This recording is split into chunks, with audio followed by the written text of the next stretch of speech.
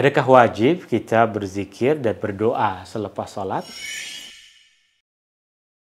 Di antara adab yang diajarkan oleh Rasulullah Sallallahu Alaihi Wasallam selepas kita menunaikan sholat fardu adalah kita beristighfar, meminta ampun kepada Allah Subhanahu Wa Taala dan memperbanyak zikir-zikir mengagungkan Allah Subhanahu Wa Taala. Tetapi jika ada keadaan yang menuntut kita untuk segera pergi selepas kita salam dari solat, maka perkara itu boleh dilakukan kerana zikir dan doa selepas solat bukan perkara yang wajib.